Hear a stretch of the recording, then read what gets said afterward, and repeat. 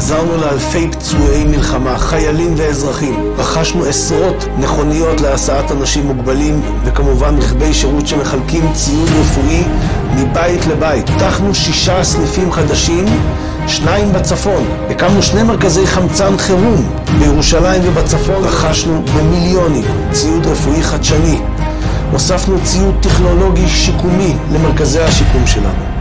הקמנו מכבסה ייעודית לטובת כל המפונים שהגיעו לירושלים.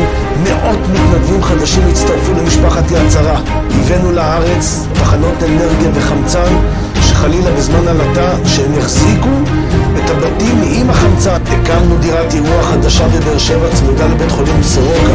כל זה עשינו בעזרת השם בזכות אלפי מתנדבי יד שרה ב-127 סניפים.